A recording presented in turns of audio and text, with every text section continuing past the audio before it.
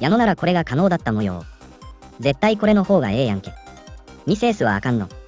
スタメンはきついかな。原口使えへんやん。糸原いなくない。誰がこと起こすの原口レフトは無理やしな。矢野先生、6番セカンド糸原な。糸原スタメン固定だから渡辺か原口は消える。後星は2分の1で坂本。去年通して当たり外人と原口いたら普通に打線良かったやろ。1年通した実績ほとんどない原口とノイジー外れだったらまた佐藤と大山頃がすんか。